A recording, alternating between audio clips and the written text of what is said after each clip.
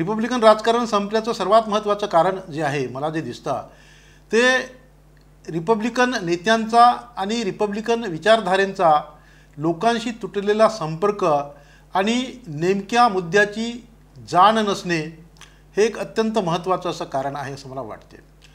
राजकारण जर यशस्वी करायचं असेल तर सर्वप्रथम ज्या लोकांसाठी आपण राजकारण करतो आहे त्या लोकांचे महत्त्वाचे मुद्दे काय आहेत?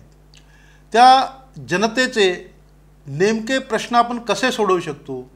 किंवा त्या जनतेचा सांस्कृतिक आधार भावनात्मक आधार आणि राजकीय आधार आर्थिक आधार असे विविध प्रकारचे त्यांच्या जीवनाला व्यापणारे जे काही प्रवाह आहेत त्या प्रवाहांना स्पर्श करून त्या प्रवाहांची दखल घेऊन आपण त्यातील मुद्द्यांना हात घालणे आवश्यक असते.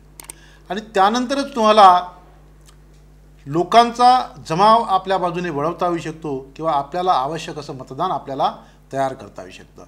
हे आत्तापर्यंतच्या मागच्या गेल्या आपण जर पाहिलं तर एकोणीसशे सत्तावन्न नंतरचं रिपब्लिकन राजकारण जे आहे तेव्हापासून तर आजता गायत महाराष्ट्रातील एकाही नेत्यांनी अशा प्रकारच्या जनतेच्या मुद्द्यांशी जवळीक साधून राजकारण केल्याचं आपल्याला दिसत नाही. सुरुवातीच्या काळामध्ये जेव्हा दादासाहेब गायकवाडाच्या नेतृत्वाखाली अखिल भारतात गाजलेला असा भूमिहीनाचा सत्याग्रह करण्यात आला.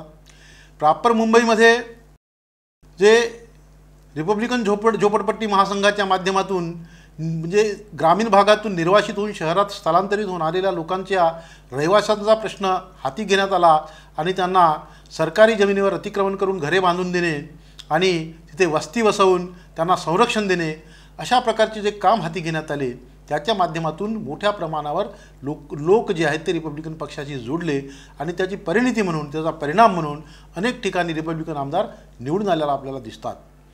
यानंतर मात्र एकोणीसशे एकाहत्तरच्या नंतर हळूहळू रिपब्लिकन पक्ष महाराष्ट्राच्या राजकारणातून बेदखल होत गेलेला आपल्याला दिसतो.